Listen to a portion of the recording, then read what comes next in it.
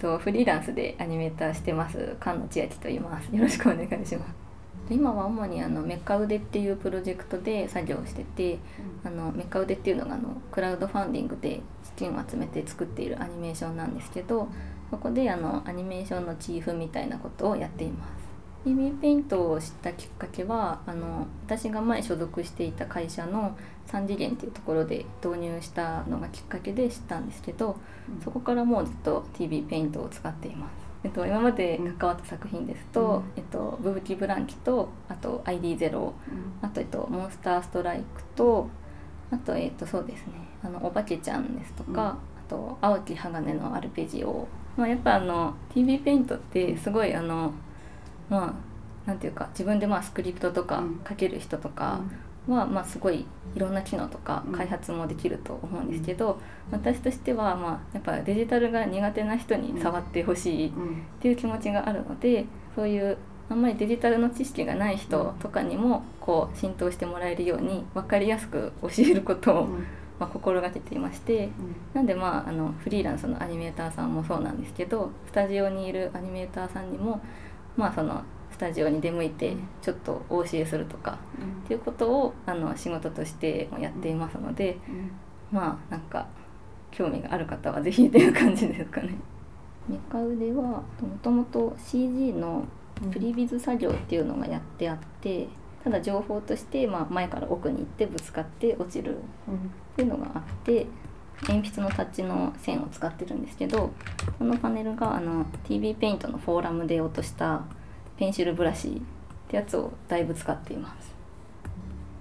でペンシルブラシからいろいろここの設定をちょっといじってちょっと線を濃くしたりでここで、まあ、ここであの太さだけ変えてでこの色選択っていうとこで色だけ変える。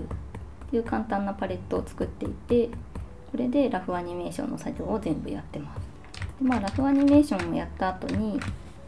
まあ、あの日本のやり方でいうえっと、もうラフ弦の状態で動画を全部入れるっていう作業をやってるんですけどなんでもアニメーターはやっぱりあの鉛筆っぽい線でラフを描きたい人が多いので、うん、まあラフの線でどんどん描いてでそれでただまあ色塗っとかないと分かりにくいっていうところは CTG レイヤーで色を塗ってで分かりやすいようにしてます。これ手で塗ったら結構大変な作業になっちゃうんですけど。であとはこちらのカットで不器用に針で縫うっていうカットなんですけど。これは実際に実写で自分で針で縫ってるところをカメラで撮影して実写のムーピーを下に引いてそれを元に描いています。なんで動きがすごく描きやすいというか実写よりの動きになっています、まあ、声優さんの、まあ、仮の声優さんの声に合わせて動きが作れる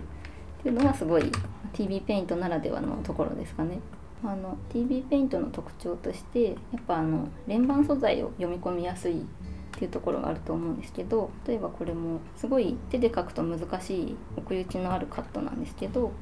こういうものを下に引いてでもうちょっとアニメっぽく動きをちょっとだけ変える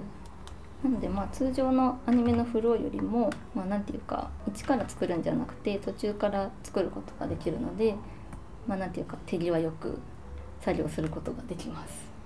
TV ペイントをまだ触ったことのない方向けにまだあのアニメーション作画基本編の「括弧使用版」っていうまだ仮の仮の状態のようなものなんですけど、まあ、本当にあの紙で作業してる方でデジタル初心者の方に向けた本で必要な機材ですとか導入の仕方から一から説明しています。まあ、ドングルが必要なこととかも書いてあります。なんでまあ、基本的には、えっとまあ、アニメーションの基本である跳ねるボールの作り方ですとか本当にこの本見ながらだと同じようなものが作れるっていう内容になってますのでもし興味のある方は今あのブースっていう、えっと、販売アプリケーションで販売をしてましてあとはあの季節ごとのコミティアとかそういったイベントで販売をしています。でまあ、通販もそのブースっていうところでやってるんですけど在庫リレの時は在庫が入った時にメールが行くと思いますのでその際は是非こちらを参考にしてみてください。